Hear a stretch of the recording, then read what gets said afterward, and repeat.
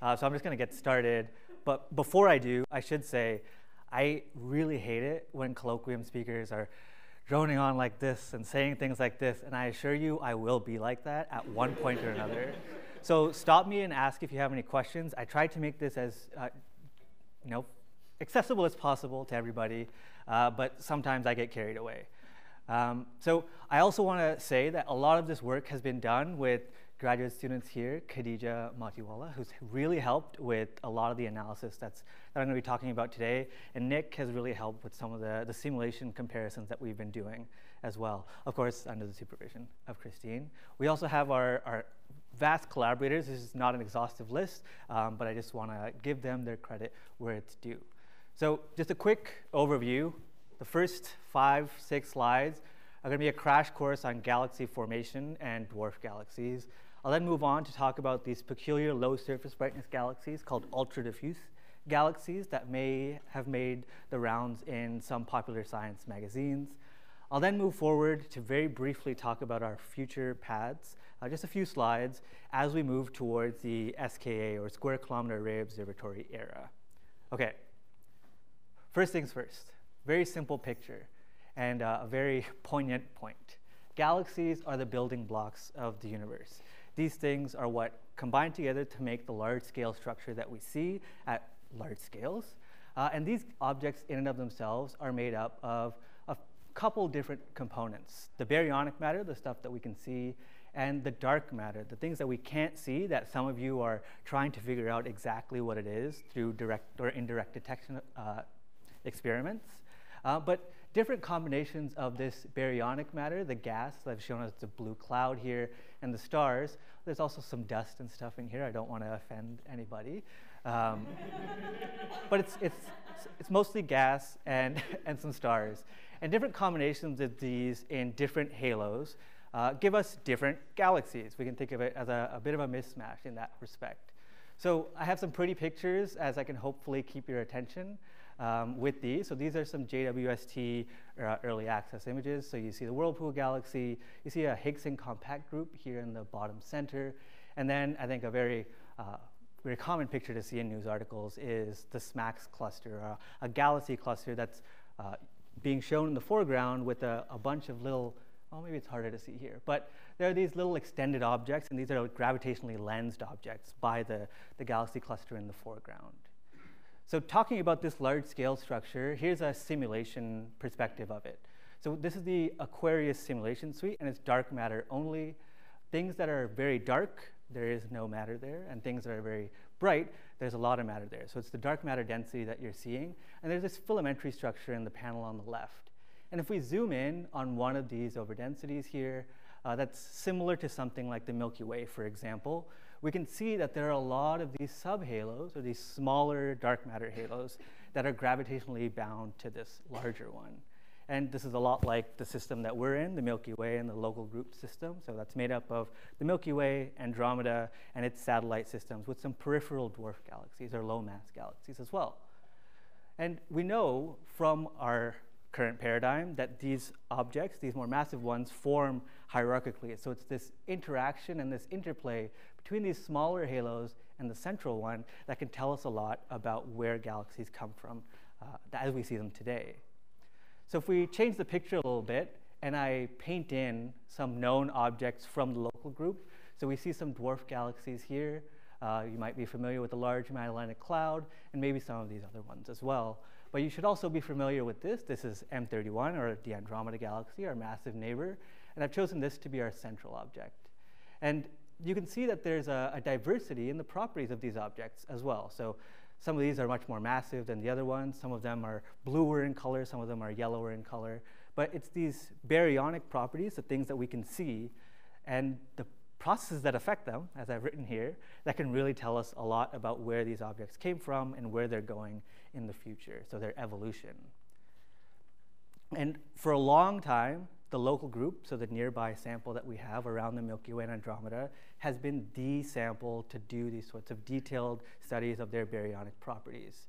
So I've, uh, I've split up this collage here from a, a, review paper to make it a little bit more pretty for a slide. Uh, but from the top left to the bottom right, we're crossing six orders of magnitude. So from 10 to the 9 solar masses all the way down to 10 to the 3. So from a billion to a thousand. And again, we're starting with something like the LMC, and we're going down to Pictoris 1. These are also at very different spatial scales. The little bar here shows 200 parsecs, and it's consistent throughout uh, each of these panels. So you can see that there are very different scales. And to be able to study the diversity of the, the properties that we see here, we need to use different types of observations.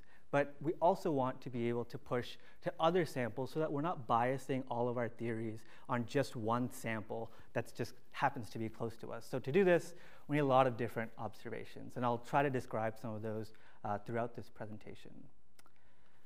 I also wanted to give you an idea of the census of how quickly this field has really ramped up.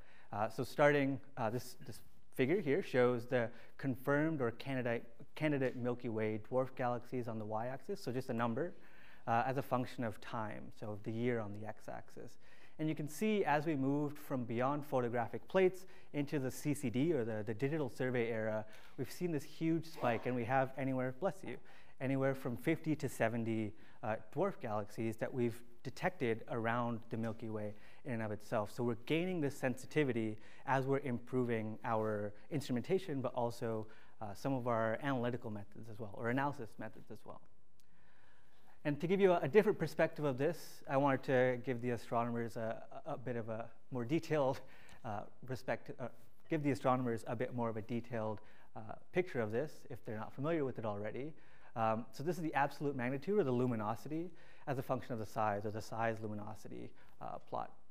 And here we have a very narrow uh, perspective of this where we see very low luminosity objects. So things that are fainter are at the bottom of this plot, things that are brighter at the top, smaller things in size are to the left, and then bigger things are to the right, just to orient you a little bit. Um, and these colored objects, these ones, are all of these new discoveries that we're seeing that overlap with the population of globular clusters. So these are dark matterless or dark matter-free objects uh, that are bound solely by their, their stellar motion. So they're dispersion, dispersion-dominated objects, and they have no dark matter components that we know of.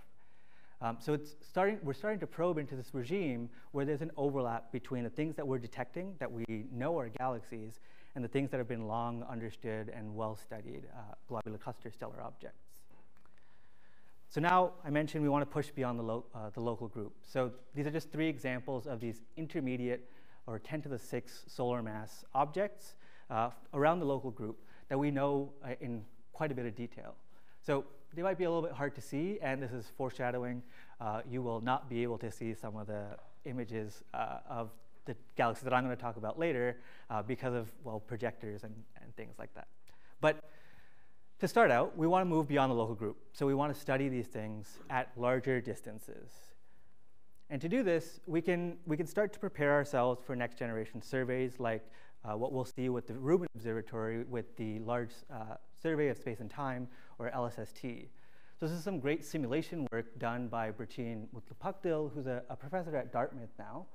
Um, but what you're seeing here is the exact same dwarf galaxy, so low mass galaxy. It's 10 to the 6 solar masses. It's fairly old, and it's placed at a distance of 3.5 megaparsecs in this simulated perspective of the imaging. And the real difference that we're seeing here is that the sizes of these objects have been changed from 0.2 kiloparsecs all the way to 1.2 kiloparsecs. So the, the stellar surface density or the surface brightness, the luminosity per area, um, is, is changing in this perspective. So you can see how difficult it might be to reach uh, a surface brightness of 31 magnitudes per arc second, uh, even in this very deep data that will be the forefront of the next generation of surveys.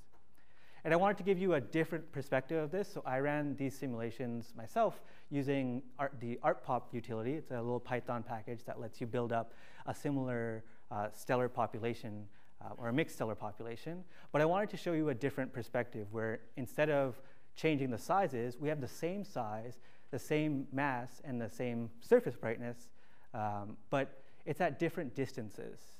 So you can see how we're going from 1.5 just outside the edge of the local group to 5 in the local volume, 10 in the local volume, and then well beyond and into the Hubble flow at 100 megaparsecs. So it's this very faint little blob, just, uh, just to orient you a little bit. It's right in the middle. But you can see that across all of these, it's the same surface brightness, uh, but they appear to be very different in these different images. Okay, I'm going to just take a pause. Does anybody have any questions? Yeah. Are you just doing a certain density map of these, or are you making, mimicking a certain telescope? Here? This is mimicking LSST G-band observations. Yep. Yep. Anything else? Okay, great. So uh, what are low surface brightness galaxies? And I put this into Google, and this is what Google told me. Uh, so it's anything that has a central surface brightness, or well, it's from Wikipedia, but it's that pop-up thing that, that Google tells you. Um, so anything that has a central surface brightness that's fainter than the night sky, and that's about 22 magnitudes per arc second or so. And that's way fainter than, or sorry, way brighter than uh, what I showed you in the previous panel. But I want to take a step back and provide some historical uh, explanation of where these objects really came from. And the prototypical one is Malin 1, which is what you're seeing in the left two panels here. And it's this giant low surface brightness spiral disk uh, that extends 100 kiloparsecs. So again, to orient you, the Milky Way is, its disk is about 30 uh, kiloparsecs or so. And this giant low surface brightness structure extends out to 100, so it's three times larger. But what I want to talk about today are these little things. These are small dwarf low surface brightness galaxies, or low surface brightness dwarfs, or LSBs as I'll refer to them. So these are much lower in mass, uh, and they're much more compact, but they have some very unique properties that I'll, I'll try to talk to you about.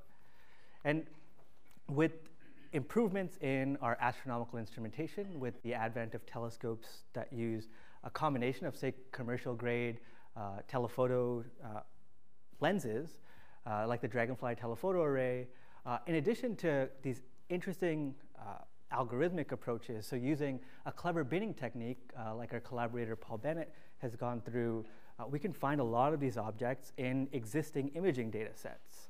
And we can also combine both of these, so using a, the forefront uh, or the foremost telescope like the Subaru telescope with the Hyper Suprime-Cam and combine uh, that data, that very deep, very sensitive data with an algorithmic approach to search for these very faint objects, um, we can get a sample like we've seen in the Hyper Suprime-Cam uh, SSP. I'm forgetting the Strategic Survey Strategic Program. Um, but we can get this very large sample of detailed observations of low surface brightness galaxies, and that's what you're seeing in the bottom right here. And they have just as diverse of a set of properties as the galaxies that we have in the local group are. So some of these are very blue in color, so that's six on the left here, and some of these are very red. And the, the colors in these objects can tell you about the stars that are in them. So some of them have blue stars, some of them have red ones. So they have young stars or old stars.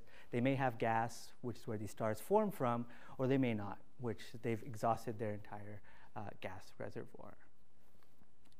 Now, one of the most intriguing subsets of this LSB population are these ultra diffuse galaxies. And I will not say that this is a new discovery. There have been a few of these that have been uh, known in early low surface brightness studies with photographic plates. And they were at a much lower quantity in terms of how many we knew of.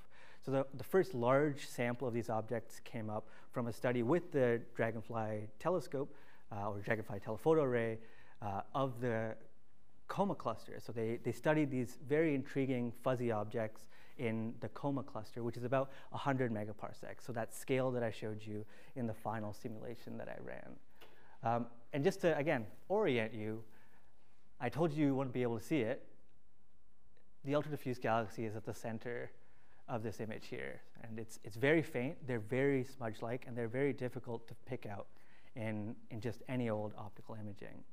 Um, again, you can see some comparison here with M31 uh, or Andromeda, the Sombrero Galaxy, M104, uh, Andromeda's nearby neighbor, M33, along with a couple of its dwarf galaxies.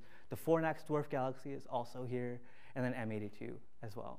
And you can see that the sheer size of this object and its distribution is quite a bit larger than a typical dwarf galaxy. And I have an asterisk here, and I'll talk about that in the, in the next slide. Um, but these objects typically have an effective radius, or a, the radius in which half of its light or stellar mass is, is contained, uh, is greater than 1.5 kiloparsecs or so. And many folks have, have deemed these to be as big or as bigger than the Milky Way's disk itself. Um, but that's, a, again, a controversial topic, I'd say. They have very faint central surface brightnesses, so 24 magnitudes per arcsecond or fainter. And we also know that they're found in all types of environments.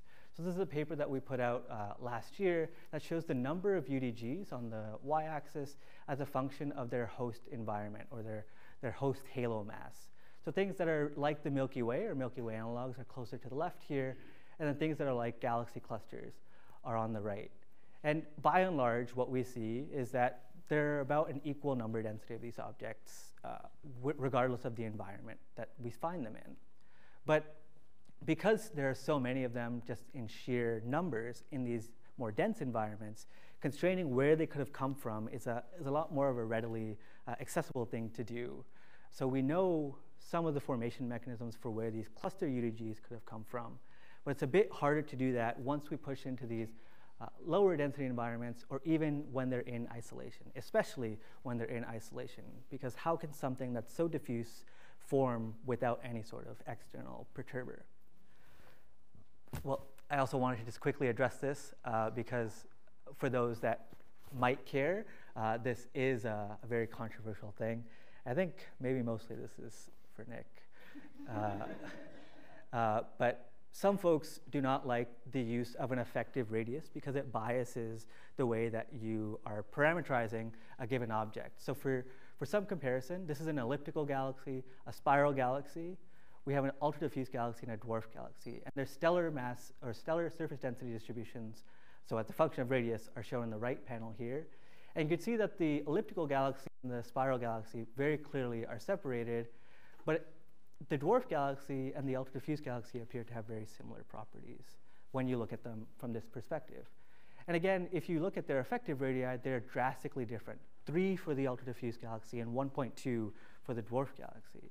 But if you used uh, a, a, fixed stellar surface density, where these authors have chosen one solar mass per parsec squared, you see that they're much closer, 4.1 and 3.8, so within their uncertainties. So understanding you know, how these objects came to be might also just be uh, a lost cause if you are using a different metric for how you define them. But I'd also like to propose a counterpoint that they're actually a bit of a peculiar bunch in and of themselves. These are just a selection of the papers um, that show that some of these objects are very extreme in their properties. Some are mostly made of dark matter. This is a, a bit of an older paper, but I think DF44 still stands true as it's a, a, unique object. But then other ones that don't have any dark matter at all, and other ones that challenge the lambda CDM paradigm and invoke things like axions instead. I also wanted to give you an idea as to what these objects look like in different environments from a, a visual perspective. And I, this is how I like to, to make things make sense for me as well. So hopefully that also works for you. Um, we have two UDGs that are in clusters, so you should be able to see them a little bit better here with the stretch in these images, and then one that's in isolation. You can see that these two are much smoother in their profile, so they have very calm um, morphologies, and they're a bit redder and diffuse as well. And then this one on the right is all by itself. We know it's gas, gas. It was detected in a, an all sky or a wide field um, sky survey in neutral hydrogen gas or H1 gas. Um, and it also has these pockets of star formation as well. So it's these different properties of UDGs across environments that are also clues towards where these objects could have come from.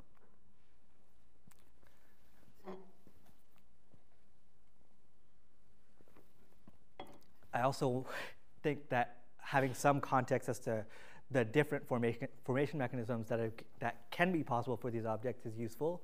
Um, and I'm also going to talk about the only two that we can use uh, to help constrain where these could have come from from an observational perspective. So the first one is this high spin halo. So this is simply the angular momentum is dictating the sizes of these objects. Um, and that's a, a, from a semi-analytical model um, early on in the discovery of these objects in large quantities. Another one has been uh, observationally, I think, confirmed, I would say, I'd go on a limb saying, um, by some of our collaborators, um, where it, these interactions from a tidal perspective are causing the large sizes in these objects. So looking for a, a stellar stream that's associated with the density in optical imaging of these ultra-diffuse galaxies near a, a more massive neighbor. Uh, the bursty star formation scenario is one that is uh, near and dear to our hearts um, from an H1 perspective because it's one of the only ones that gives you a, a, a mechanism that you can constrain through H1 observations. So this is early episodic uh, bursts of star formation that then expel matter out to larger distances and then in turn affect the underlying dark matter distributions in these objects. And the last one is a bit of an interesting one, uh, but is also uh, very uh, unusual, I'd say, is that these major mergers between some dwarf galaxies at low masses early on in their evolution can dictate the large sizes in these objects. So it's, a, it's almost like it's a combination of uh, this one here and this one uh, to create the large sizes in these objects. Okay, to be able to do all of this across different environments is a very difficult thing to do because you want to be able to constrain things that are in clusters, in isolation, and you want it to be as uniform of an analysis as possible. And so I'm and we are members of the Systematically Measuring Ultra Diffuse Galaxies survey, uh, where we've set out to try and understand where these objects could have come from in a, a systematic way. And again, I know there are some folks here that are on big proposals and big projects that have very fun acronyms, but I think ours is the best. uh, our things look like smudges, and they are smudges. So, from that perspective, uh, I think that's a win for us. So, we really want to treat this imaging and the selection of these objects very carefully in uh, the optical imaging surveys that we go through. So we use all of the optical imaging from the dark energy spectroscopic instrument pre-imaging surveys, or more commonly referred to as the legacy surveys. Um, so these are a combination of about 20,000 square degrees of imaging that we've combed through, um, through with a, a, very sophisticated pipeline, where we make sure that we remove any sort of artifacts like PSF tails, any cosmic rays that may uh, influence our, our, imaging. We then go through and ensure that all this masking can, uh, all this masking doesn't remove our faint sources in any sort of uh, systematic way. And then we use wavelet transforms to pick out the different scales that these objects uh, might have their uh, emissions spread out at. And then after all this is done, we run uh, a machine learning classifier that can then pick out things that we've pre-trained on uh, so that we don't have any sort of high, high redshift objects that um, may fall into our sample uh, as well. So I mentioned that we scoured through 20,000 square degrees of sky. So here's a, a, sky plot of this with the different surveys that are part of the, the legacy surveys uh, imaging footprints. And then on the right here, you can see a log of the density of these objects. So it's not a full uh, scale of where they all are, um, but just to point out, here are some nearby large-scale structures. So we have the Virgo cluster that's uh, very close by, the Coma cluster, which is where all of this uh, analysis really started, and then we have things in the south like Fornax and 7144. So with this, yeah, with this, we really need distances because we want to convert the angular properties that we see on the sky, so things that we just characterize from the imaging in and of itself, to a physical property. And we need distances to go from something like an arc second to a kiloparsec. And this is just four examples of objects that we've detected in some of the work that I'll describe in a couple of slides. Uh, and I, I want you to just take a second to take a look at them, and I'll tell you which one is a real UDG and then you can feel proud if you, if you selected the one as a real UDG. So just a few seconds, and I'm going to take a sip of water. All right, well, if you guessed one, I'm sorry, you're wrong. Two, you're wrong. Three, you're wrong. Four is the only UDG in this sample. And it's, if you were able to pick that out just off the bat, that's great. Uh, but I can show you about 100 more of these objects, and then we'll see if you could, if you could keep that up. If you could, that you could uh, be very useful for a machine learning tasks. so obtaining distances for these objects, oh, I have another picture. Obtaining distances for these objects are usually done through either ground-based or space-based imaging by resolving the stars in these objects. So you can do this from the ground out to about five megaparsecs or so. And then for these very faint luminosities, you could use something like the Hubble Space Telescope out to about 17, maybe 25 megaparsecs if you're lucky. But you can also use something like JWST, but uh, that's another discussion that if you have questions about, I can talk to you about. Um, but this is a very consuming and difficult thing to do, especially for objects that are in isolated environments. And so we've set out to exploit the neutral hydrogen or H1 gas in these objects. So again, for those that may be familiar, uh, here's a nice image of what this is. is. Um, the, the emission stems from a spin flip transition of the hydrogen atom, and you get an, and you get a, an emission, a photon that's emitted at 21 centimeters. Uh, so this is very commonly referred to as a 21 centimeter line. And we're very thankful that we can observe all of this from the ground, and we can build very large telescopes uh, to help us with this.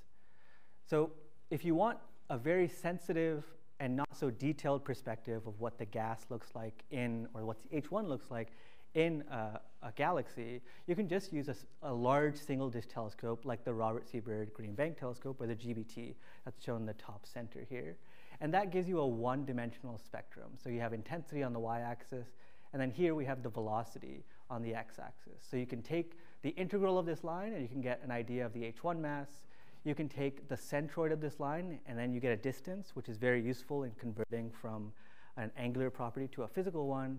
And then you can get a rough idea about the dynamics of this object by looking at the broadening of this line.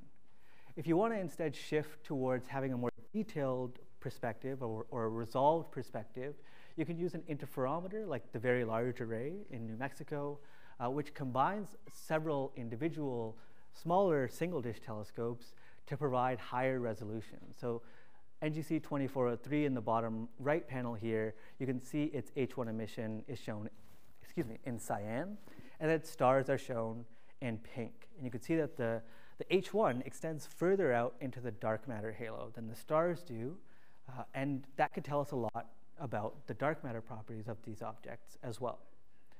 So we've put together the smudges in H1 survey, so we've used the Green Bank telescope to observe many of these uh, ultra diffuse galaxies uh, from our search through the legacy survey imaging. Uh, so we've, we've gotten a bunch of these spectra.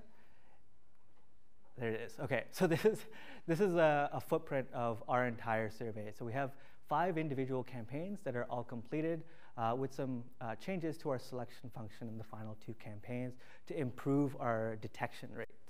So we have over 500 hours of observations that we've put into this uh, for 387 UDG candidates. And Khadija has been very great in helping going through some of this data reduction and analysis uh, for these last two campaigns, especially.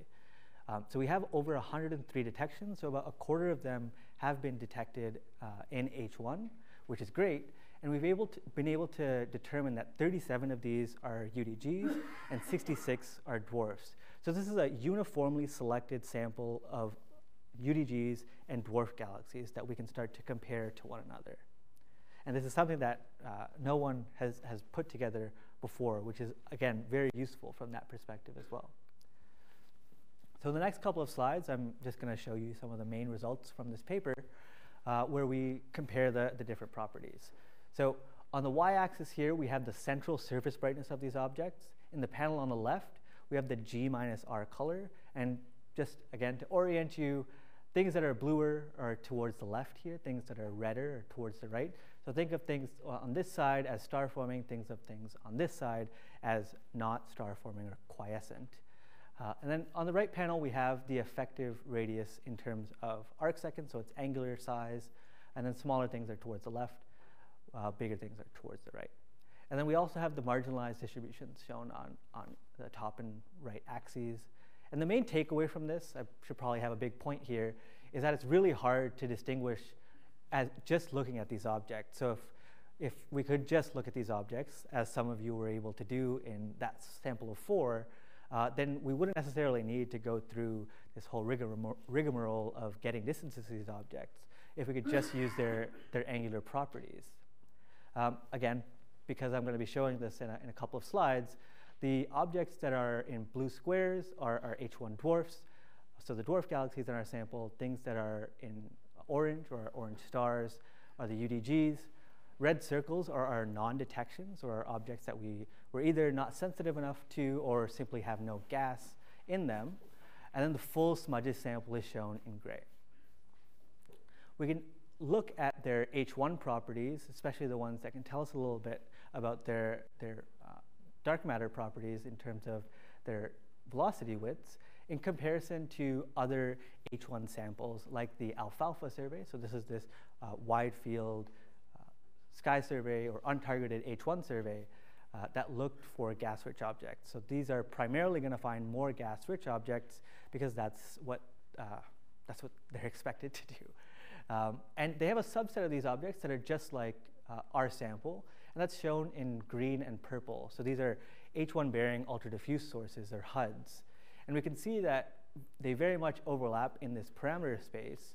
And if we shift towards looking at their H1 properties uh, as a function of their stellar mass properties, again with the same symbols as the previous panel, we see that they generally follow the same trend, but they are on average less gas rich, especially at these intermediate and low stellar masses.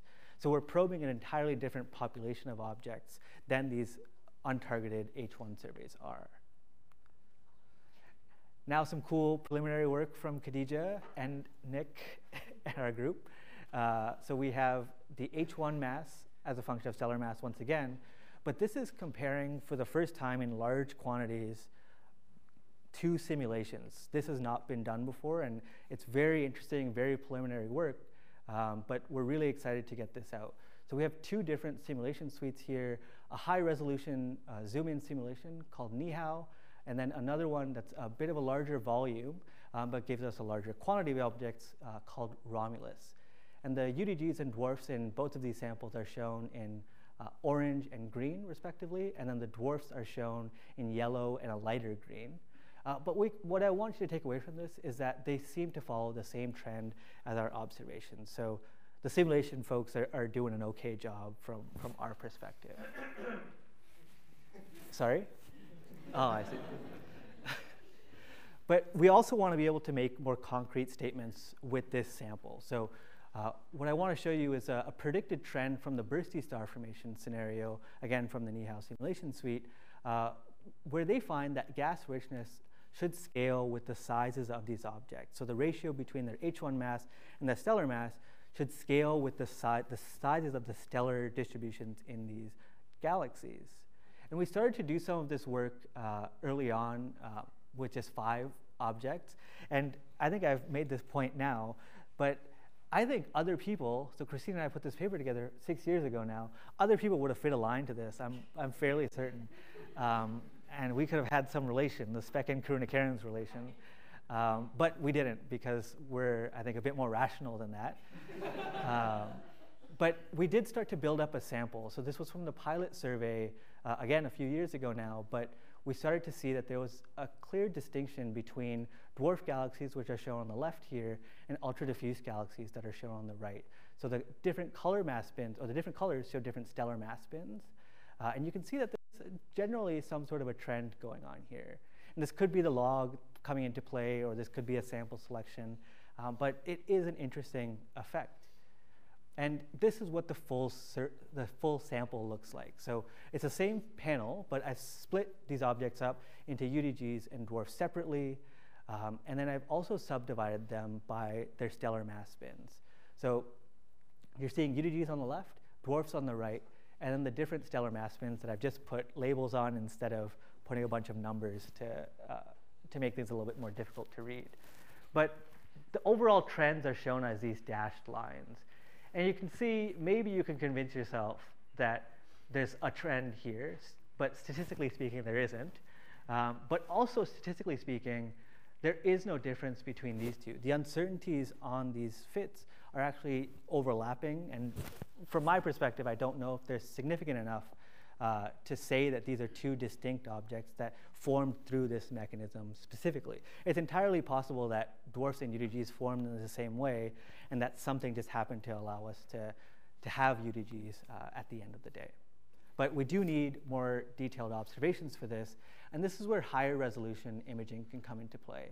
So I showed you these two images before, and then we can get a rotation curve out of this. So we look at the velocity of, of the H1 emission as you go out in radius from these galaxies.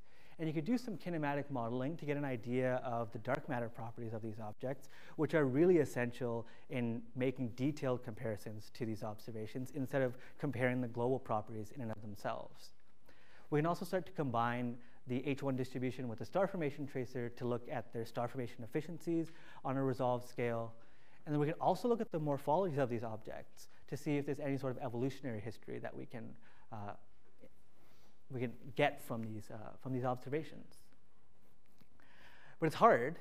There are just seven of these objects that have detailed high resolution H1 imaging. And only five of these have relatively well behaved, uh, modelable um, H1 emissions or H1 maps. And just two of them are sufficiently resolved enough that we can use some of the tried and tested uh, mechanisms or, or, modeling techniques that we've used for years. Um, so I know that uh, Nathan and the Wallaby folks here have been pushing the limits of how we can start to model these objects with very low resolution, uh, but it's still a difficult thing to do when you don't have that much emission to work with in the first place. I just want to quickly focus on this one object here. This is AGC 114905. And it's had almost 100 hours of total observations dedicated towards it to come to this conclusion in the figure on the right here. So this is the rotation curve, or the circular velocity as a function of radius for this object. And you can see that it starts to, to fall off and taper off and flatten out as we refer to it as. And the authors of this paper suggested that there's no need for dark matter for this object because its rotation could just be um, explained by its baryons, so its gas and its stars alone.